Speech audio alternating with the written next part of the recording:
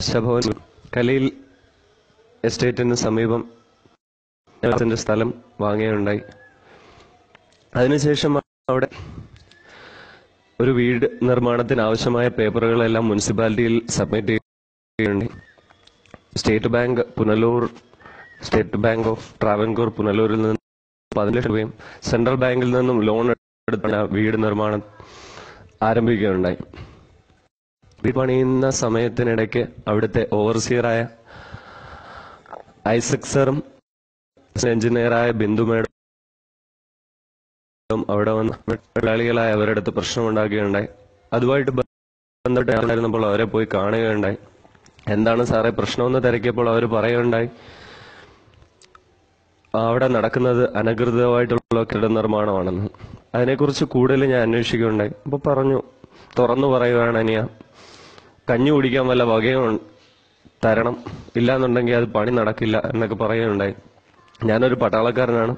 ഇതുവരെ കൈക്കൂലിയെക്കുറിച്ച് ഞാൻ പ്രോത്സാഹിപ്പിക്കുന്നില്ല അതുമായിട്ട് ബന്ധപ്പെട്ട് മുനിസിപ്പൽ പുനലൂർ മുനിസിപ്പാലിറ്റി ഞങ്ങളെ ഒരുപാട് ബുദ്ധിമുട്ടുകയുണ്ടായി ഞാൻ നാട്ടിലില്ലാത്ത പക്ഷം വീട്ടിൽ വേറെ ആരും ഉണ്ടായിരുന്നില്ല. അമ്മ മാത്രമേ ഉണ്ടായിരുന്നുള്ളൂ.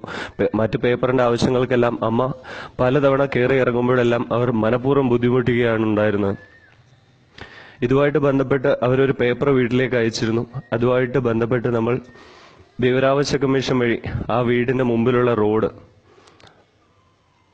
വീടിന് കാർപൂച്ച് കെട്ടിയിരുന്നത് റോഡിലോട്ട് ഇറങ്ങിപ്പോയി എന്ന കാരണമാണ് ഒരു പറയുകയുണ്ടായിരുന്നത്. ആ റോഡ് നമ്മൾ വിവരാവശ്യ കമ്മീഷൻ വഴി അന്വേഷിച്ചപ്പോൾ കലീൽ എസ്റ്റേറ്റിലേക്കുള്ള ഒരു പ്രൈവറ്റ് റോഡാണെന്ന് വിവരാവകാശ കമ്മീഷൻ വഴി അവർ പറഞ്ഞിരുന്നു. നമ്പർ നൽകുന്നതിന് യാതൊരുവിധ തടസ്സവും ഉണ്ടായിരുന്നില്ല അവർക്ക്. എങ്കിലും കൈക്കൂലി കൊടുക്കാത്ത ഒറ്റ കാരണത്താൽ അസിസ്റ്റന്റ് എഞ്ചിനീയറായ ബിന്ദു എസ്. കരുണാകരൻ അമ്മയെ മാനസികമായിട്ട് പീഡിപ്പിക്കുകയുണ്ടായി. ലോൺ എടുത്ത വീട് അവർക്ക് തല്ലി തകർക്കണം എന്ന് പറഞ്ഞപ്പോൾ സമ്മതിക്കുകയുണ്ടായിരുന്നില്ല. ലോണാണ് അതിനകത്ത് പതിനഞ്ച് ലക്ഷം രൂപ ലോണാണ്. അതിനകത്ത് എന്തെന്ന് വെച്ച് കഴിഞ്ഞാൽ ഒരു സൈനികന്റെ ബുദ്ധിമുട്ട് നിങ്ങൾക്ക് എല്ലാവർക്കും മനസ്സിലാക്കുന്ന കാര്യമാണ്. മറ്റ് സംസ്ഥാനങ്ങളിൽ പോയി ആഹാരത്തിനും ഞാൻ എന്റെ ബുദ്ധിമുട്ടുകൾ പറയുകയല്ല. ഇത്രയൊക്കെ ഉണ്ടായിരുന്നിട്ട് യാതൊരുവിധ പ്രശ്നവും ഉണ്ടായിരുന്നിട്ടും കൈക്കൂലി ഒന്ന് കൊടുക്കാത്തതിന്റെ പേരിൽ മാത്രമാണ് അവർ ഈ പ്രശ്നം ഉണ്ടാക്കുന്നത്. പേപ്പറുകളെല്ലാം നമ്മുടെ കയ്യിലുണ്ട്. പലതവണ അതുമായിട്ട് ബന്ധപ്പെട്ട് സെക്രട്ടറിയും അവിടുത്തെ പ്രസിഡന്റ് രാജഗോപാൽ സാറിനെ പോയി കാണുകയുണ്ടായി. എഞ്ചിനീയറിംഗ് സെക്ഷൻ പറഞ്ഞു കഴിഞ്ഞാൽ അതിനൊന്നും ചെയ്യാൻ പറ്റില്ല അനിയ എന്നാണ് രാജഗോപാൽ സാറും പറയുന്നുണ്ടായിരുന്നത് ഇവരിൽ നിന്നും യാതൊരു നല്ല നടപടിയും സ്വീകരിക്കാത്ത പക്ഷം കേസ് ഹൈക്കോടതിയിൽ പോവുകയുണ്ടായി.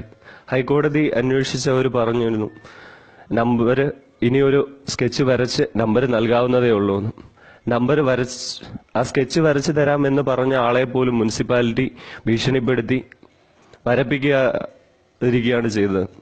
ഇതുമായിട്ട് ബന്ധപ്പെട്ട് അമ്മ പലതവണ മുനിസിപ്പാലിറ്റിയിൽ കയറി നിറങ്ങി നടക്കുകയുണ്ടായി. പക്ഷേ അതിനൊന്നും അവർ പോലും നൽകുകയുണ്ടായിരുന്നില്ല. സൈനികന് വേണ്ടുന്ന ഇതൊന്നും നൽകണമെന്നൊന്നും അല്ല ഞാൻ പറയുന്നത്. പാവപ്പെട്ടവർക്ക് വേണ്ടിയിട്ടാണ് സർക്കാരും സർക്കാർ സ്ഥാപനങ്ങളും സർക്കാർ ജീവനക്കാരും ജോലി ചെയ്യേണ്ടത്. അവിടെ കൈക്കൂലി ഒന്ന് കൊടുത്താൽ മാത്രം ജോലി ചെയ്ത് തരുന്നവരെ അല്ല നമുക്ക് ആവശ്യം. നിങ്ങൾക്ക് എല്ലാവർക്കും അന്വേഷിക്കാവുന്നതാണ്. ഇതിന്റെ പേപ്പറുകളും മറ്റും ഞാൻ മുന്നിൽ ഹാജരാക്കിയിട്ടുള്ളതുമാണ്. പുനലൂരിലെ ഐസക് സാറിനെ കുറിച്ച് ആർക്കും അന്വേഷിക്കാവുന്നതാണ്. ബിന്ദു മേഡത്തിനെ കുറിച്ച് അസിസ്റ്റന്റ് എഞ്ചിനീയർ കൈക്കൂലി വാങ്ങാതെ അവർ ജോലി ചെയ്യില്ല എന്ന് തന്നെയാണ്. ഞാനൊരു പട്ടാളക്കാരനാണ്. എനിക്ക് അച്ഛനില്ല. അമ്മ മാത്രമാണ് ഉള്ളത് എനിക്ക് എന്റെ കുടുംബം ഇപ്പോൾ നിലനിൽക്കുന്നത് പോലും എന്റെ ജോലിയുടെ ബേസിലാണ്. ഒരു പട്ടാളക്കാരന്റെ ശമ്പളത്തെക്കുറിച്ച് ഞാൻ നിങ്ങളുടെ വീട്ടിൽ ഒരു സർക്കാർ ഉദ്യോഗസ്ഥനുണ്ടായിരിക്കാം. പറയാൻ എളുപ്പമാണ് ഇത്ര രൂപയുണ്ട് ഇത്ര രൂപയുണ്ട് എന്ന്. കട്ടിങ് എല്ലാം കഴിഞ്ഞതിന് ശേഷം കയ്യിൽ കിട്ടുന്നതും അവൻ അനുഭവിക്കുന്ന ബുദ്ധിമുട്ടുകൾ എന്താണെന്നും ഒരു സർക്കാർ ജീവനക്കാരന് ഒന്ന് ചിന്തിക്കാവുന്നതേ ഉള്ളൂ. കൈക്കൂലി മേടിച്ചിട്ടേ അവർ ജോലി ചെയ്യൂ എന്നൊക്കെ പറഞ്ഞാൽ അത് ബുദ്ധിമുട്ടാണ് സാറേ. കൈക്കൂലി തരില്ല ഞാൻ. ഞാനും എന്റെ അമ്മയും. അത് പ്രതീക്ഷിച്ച് മുനിസിപ്പാലിറ്റി ഞങ്ങൾക്ക് നമ്പറിന്റെ കാര്യം ഒന്നും നടത്തണ്ട.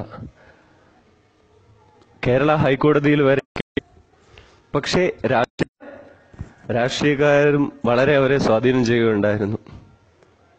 വിജിലൻസ് ഈ കാര്യത്തിൽ വിജിലൻസ് അന്വേഷണം വേണമെന്ന് ഞാൻ വളരെ താഴ്മയെ അപേക്ഷിക്കുന്നു. ഇവിടെ നിന്ന് ഞാനൊരു പട്ടാളക്കാരനാണ്. എല്ലായ്പ്പോഴും നാട്ടിൽ വന്ന് എന്റെ വീട്ടിലെ ചെറിയ ചെറിയ പ്രശ്നങ്ങൾ പരിഹരിക്കാൻ ചിലപ്പോൾ പറ്റിയെന്ന് വരില്ല. ഒറ്റ മകനുള്ള വീട്ടിലെ ബുദ്ധിമുട്ട് ഇതാണ്. അവൻ പട്ടാളത്തിൽ ചേരുന്നോണ്ട് ഉണ്ടാവുന്ന പ്രതിസന്ധികൾ എന്തൊക്കെയാണെന്ന്. വീട്ടുകാരെ ഇങ്ങനെ ബുദ്ധിമുട്ടിക്കുന്നിടത്തോളം കാലം ജനങ്ങൾക്ക് സേവനം ചെയ്യേണ്ടവർ തന്നെ ജനങ്ങളെ ഈ പറയാറില്ലേ കൊതുക് രക്തം ഊറ്റി കുടിക്കുന്നത് പോലെ അവരിലെ എല്ലാം ഊറ്റി കുടിക്കാൻ വരുന്ന രാഷ്ട്രീയക്കാരും സർക്കാർ ജീവനക്കാരും. ഇവർക്ക് മുമ്പിൽ എന്താണ് പറയാനുള്ളത്? യാതൊരുവിധ ഇതും കൂടാതെ ഞങ്ങൾക്ക് നമ്പർ തരാവുന്നതേ ഉള്ളായിരുന്നു. എന്നിട്ടും അതൊക്കെ പോട്ടെ അമ്മ ഒറ്റയ്ക്കാണ് നാട്ടിൽ എന്തെങ്കിലും ഒരു പ്രശ്നം ഉണ്ടാവുമെന്ന് കരുതി ഒന്നിനും പോവാതിരുന്നു. ഇപ്പോൾ ഒരു സർക്കാർ ഓർഡർ വന്നിരുന്നു.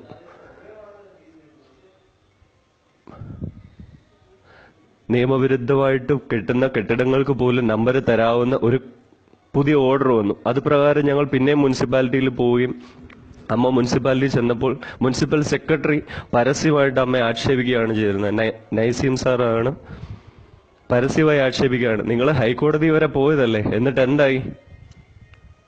ഹൈക്കോടതി പോയിട്ട് നിങ്ങൾക്ക് നമ്പർ കിട്ടിയില്ലല്ലോ. ഇവിടെ തന്നെ വരണം എന്നുള്ള രീതിയിലാണ് സംസാരിക്കുന്നുണ്ടായിരുന്നത്. ഇനിയെങ്കിലും മനസ്സിലാക്കേണ്ട ഒരു കാര്യം എന്ന് പറഞ്ഞാൽ ഈ പറയുന്ന നഗരസഭയും ജില്ലാ കാര്യാലയങ്ങളും എല്ലാം ജനങ്ങൾക്ക് വേണ്ടിയിട്ടുള്ളതാണ്. ജനങ്ങളുടെ ക്ഷേമത്തിനും അവന്റെ സംരക്ഷണത്തിനും വേണ്ടിയിട്ടുള്ളതായിരിക്കണം ഓരോ സർക്കാർ സ്ഥാപനങ്ങളും. അല്ലാതെ അവന്റെ കൈകളിൽ നിന്ന് കൈകൂലിയും വാങ്ങി. എനിക്ക് ലക്ഷത തോന്നുന്നു ബിന്ദു മേഡം. നിങ്ങൾക്ക് എത്ര എന്നേക്കാളും എനിക്ക് ഞാനൊരു സൈനികനായ എനിക്ക് കിട്ടാവുന്നതിൽ നിന്നും മൂന്നിരട്ടിയോളം സാലറി നിങ്ങൾക്ക് ഉണ്ടാവുമെന്ന് എനിക്ക് നൂറ് ശതമാനം വിശ്വാസമുണ്ട്.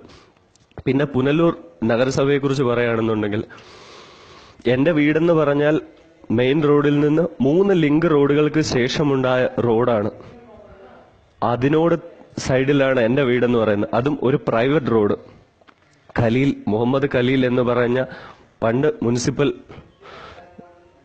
സ്ഥാപനത്തിൽ വർക്ക് ചെയ്തിരുന്ന ഖലീൽ സാറിന്റെ വീട്ടിലേക്കുള്ള പ്രൈവറ്റ് വഴി. സാറ് നികുതി അടയ്ക്കുന്ന സാറിന്റെ പ്രൈവറ്റ് റോഡിലേക്ക് സാറിന് യാതൊരുവിധ പ്രശ്നവുമില്ല. മുനിസിപ്പാലിറ്റിക്കാണ് പ്രശ്നം. കൈക്കൂലി കൊടുത്തില്ല. മുനിസിപ്പാലിറ്റി അവിടെ എന്തിനും ഒരു പ്രൈവറ്റ് റോഡിൽ നിങ്ങൾ അവിടെ ടാർ ചെയ്തു. നിങ്ങളിപ്പോൾ നിങ്ങളുടെ റോഡെന്ന് പറയാൻ കാരണം നിങ്ങൾ അവിടെ ടാർ ചെയ്തു എന്നാണ്. അതിനെതിരെ അന്വേഷണം നടക്കട്ടെ വിജിലൻസ് അന്വേഷണം നടക്കട്ടെ. നിങ്ങൾ നിങ്ങളുടെ കൈക്കൂലിക്ക് വേണ്ടിയിട്ട് എന്തും ചെയ്യും എന്നുള്ള രീതിയിലാണ് എന്നെ ഭീഷണിപ്പെടുത്തിയത്. ഇന്ന് ഈ സ്ഥിതിയിൽ എന്നെ കൊണ്ട് എത്തിച്ചത് നിങ്ങൾ തന്നെയാണ്. പ്രശ്നങ്ങൾ ഇവിടുന്ന് ഇൻഡോ